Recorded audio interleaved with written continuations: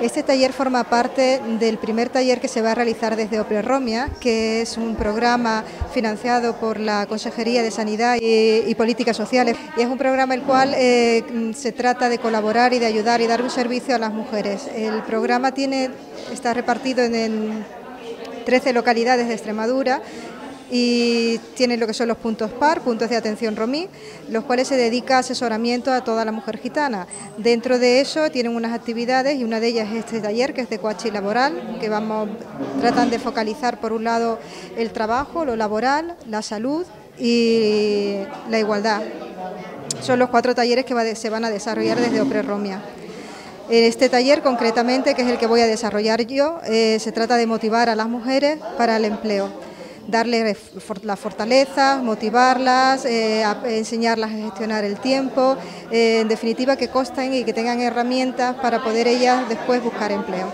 Se ha pretendido que no solo que asistan a este taller, sino que asistan a los otros cuatro talleres que se van a desarrollar y que vean esto como una oportunidad, como un recurso que desde la Federación FAGES, de la Federación de Asociaciones de Extremeñas, de Gitanas Extremeñas, eh, se le da a las mujeres gitanas. Se trata de darles los recursos no solo en el terreno laboral, sino también darles recursos en el terreno de la salud, que también necesitan a veces un empujoncito en ese terreno, y en un poco también incentivarlas en cuanto a concienciarlas en cuanto a la igualdad de género y la violencia de género. Pues nosotras estamos muy contentas con el programa de OPRE Roma, porque somos una asociación de mujeres y todas las actividades que tengan que ver con la mujer y el empoderamiento de la mujer nos son mm, muy útiles y muy necesarias. Nuestras mujeres, fíjate la asistencia que hemos tenido, que están deseando de que les demos formación para poder acceder al mercado laboral y ganarse la vida como todo el mundo. Si es que al fin y al cabo es lo que queremos todos. Aquí estamos contratadas varias personas, principalmente maestros, porque nosotros trabajamos sobre todo por la educación.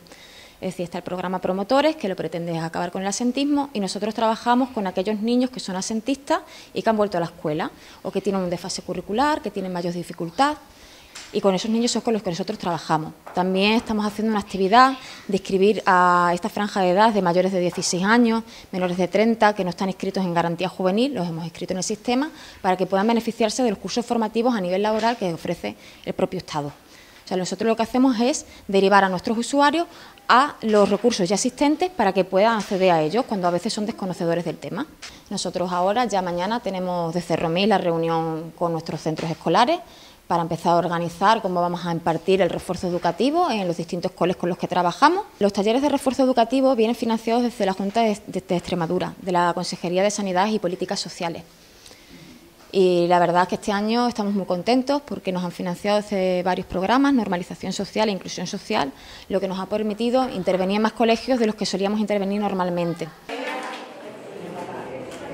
La asociación nace en 1996, pues con un encuentro que se hizo en Montanche, pues que de ahí pues se hizo un, curso para, para mediadores sociales. A raíz de ahí, bueno, pues pensamos una serie de gente pues que hacía falta para la comunidad gitana, que hacía falta pues tener aquí mediadores para que las niñas, niños jóvenes y todo, pues que, había que salir hacia adelante.